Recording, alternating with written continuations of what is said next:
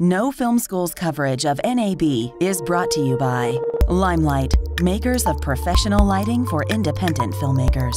My Road Reel International Film Contest. Enter at myroadreel.com.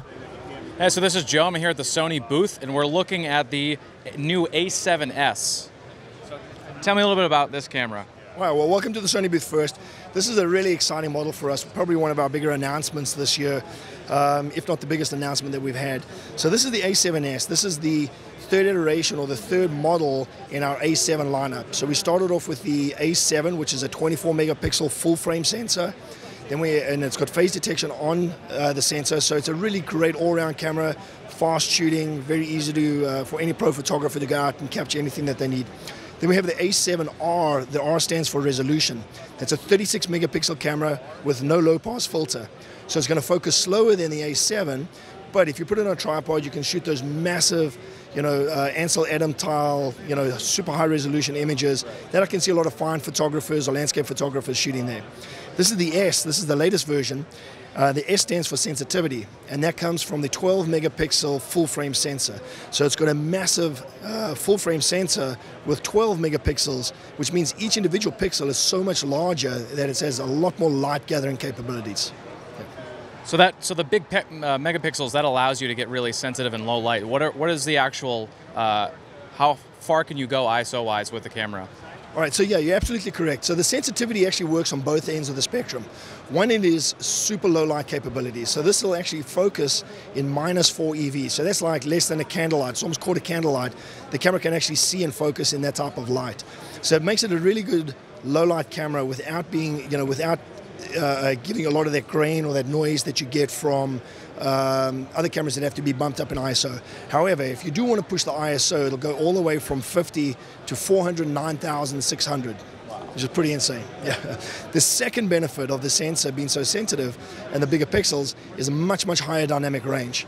So even shooting in light, very bright outdoors uh, situations, you get a lot of uh, uh, tonal gradation and you get a lot of detail everything from the shadows to the highlights, and you don't have blown out highlights. You know, you see a beautiful blue sky, you actually see detail in clouds, and not just you know a washed out sky if you get the shadows. So you'll get everything in between on this.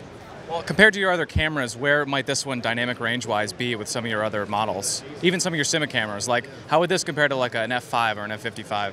You know, I have no idea right now. We've just got these cameras in. Um, my guess is going to be pretty good for the camera that it is. I don't know where it's going to compare to the other higher end ones. Yeah, okay. we're expecting really good things out of it though. Uh, and it, going back to ISO for just a second, uh, what is the video ISO and what is the ideal range uh, in terms of noise that you might recommend?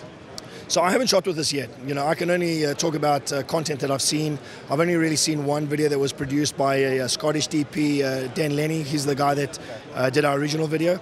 Um, but he's got you know footage that we're having a look at at 6400 uh, ISO, which looks absolutely crisp, you know, and clean. I don't know how far you'll be able to push it further than that. Um, uh, you know, I'm sure they're going to have a ton of people grabbing this camera and testing it in the near future. So in now, so this camera does 4K and 1080, but the 4K is only externally. Correct. So it actually has three uh, codecs in it. MP4, which is a real simple codec, easy to for you know shooting something, dragging and dropping to the web. It has the traditional uh, AVC HD, which is the advanced video codec for HD, that goes up to um, 1920, 1080, 24p, 30p, 60r, 60p, but only up to 28 megabits per second.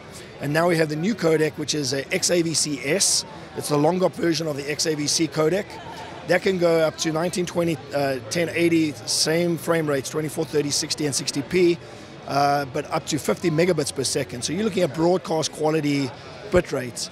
In addition to that, you can crop the crop in for a 720 and uh, push the camera to 120 frames a second for four, five times slow motion. And then for 4K output, through the HDMI, you can actually get full HD out, uncompressed, so putting it into an external recorder like an Atomos Ninja or something like that, you'll be able to get you know uncompressed you know ProRes at 150 megabits per second. Um, uh, Atomos has announced a, uh, a new recorder that we Shogun. Uh, the Shogun, correct, which can record 4K. So this will output 422 8-bit 4K at 30p, 24 or 30p, and the Shogun will be able to record that. And what is the bit depth at at 1080? 8-bit. Okay, so tell me a little bit about the uh, the pro video features of the camera. All right, because this is said to be such a good video camera, we also threw in additional pro features. So it has the uh, S-Log2 Gamma, it has picture profiles, and it also allows you then to set up a profile in the camera. And uh, if you're doing a multiple camera shoot, you could save those profiles onto the SD card and transfer that to other cameras that, that are in your shoot. Uh, it has time code, um, there's uh, zebra function, peaking, guard frame, uh, audio level controls. So there's a lot of other features in here that allow you to treat this like a real uh, high-end uh, professional camera that it is. So the, the S-Log, will that be can that be sent out of the HDMI so that you can actually view that in the S-Log mode, or will it just record that way? I believe it would be able to go out to HDMI. I'm not 100% sure. I've been told that it would, and that the, uh, for instance, the the Atomos uh, Shogun should be able to uh, look at that. And I know they're looking at the Rec 709, so the, you should be able to match it quite well. Great. So now this lens mount is an E-mount, correct? That's correct. So with the E-mount lens, as you know, you know our E-mount system has the 18 millimeter flange back.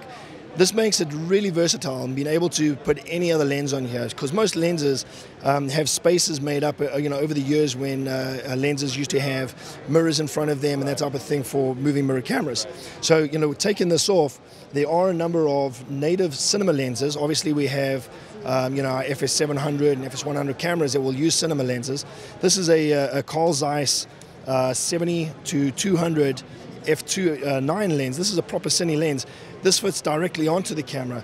But if you have other lenses in your system that you you know want to upgrade to get a better camera and you have some other lenses, you might you know have a couple of Canon lenses lying around for instance. Here I'm using a Metabones adapter that has electronic control for the uh, focus and the uh, uh, aperture and this can just clip straight on. So here I'm going uh, E-mount through a, an adapter to a Canon mount. What I can also do is put any of our existing A-mount lenses on here. So I could use the Sony E-mount to A-mount. And uh, as you know, we have a lot of the Carl Zeiss lenses in our lineup of A-mount lenses. Uh, also the uh, you know high telephoto zoom and the Prime uh, G-series lenses. So this really makes it very versatile.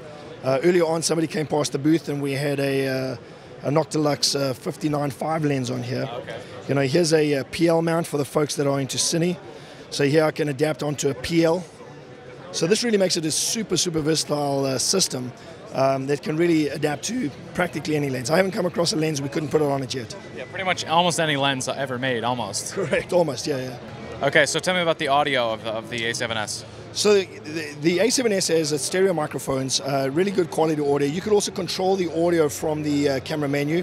It has uh, um, audio level, uh, but in addition to that, most of our Sony uh, MI shoes aren't just for flash adapters, but there's a 20 pin adapter right, or 20 pins inside, which you can put on additional audio. So for instance, here I have an XLR box. I can adapt this uh, to the to there. Now I get proper balanced audio. It's not you know coming through the, the mini jack. This is proper balanced uh, audio from an XLR, and I have full control. This could be used in the rigs, for instance. Here we have a uh, A7S set up as a cinema camera. I have an HDMI out going into the uh, Atomos for 4K recording. I have a Pro mic on top with balanced XLR and a matte box, a uh, Carl Zeiss uh, Cine lens. So this is really set up for uh, full motion picture. Now, and the audio levels can be adjusted while recording? Yes, correct. Okay, so now we're looking at the battery system uh, for the A7S. Right, so as you can see, it's a really, really small bat, uh, uh, camera, so it has a very small battery. I don't know what the battery life is yet. You know, we haven't tested the camera, but it uses the same standard W series battery that we use on uh, all our E-mount cameras. If you want to extend the life of the battery, we do have a vertical grip, which takes two batteries. This serves two purposes.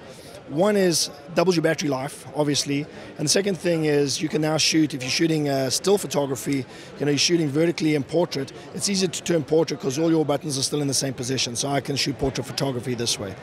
Um, if that's not enough for you, the you can charge the camera, but you can also run the camera through the USB power. Okay. So, for instance, you can get one of those little uh, USB power packs and then just run it through that as well. That'll actually. Well, so will that charge the battery or run the camera or both? Both. Yeah. Okay. And also, you mentioned too that there's actually you can uh, put the battery door inside the battery grip. Yeah, so it's a very clever design. So since the, the, the battery goes into that uh, the, the battery socket to make the connection, um, you can see that if you take the door off, it attaches onto the grip so you don't lose the door, which I thought was quite smart. Okay, so how much is this going to cost, and uh, when can people get their hands on it? So those are unfortunately the only two questions I can't really answer for you. We're not 100% sure, but we do know that the camera will probably be sooner than uh, later. Uh, I'm hoping to see it obviously, you know, shortly.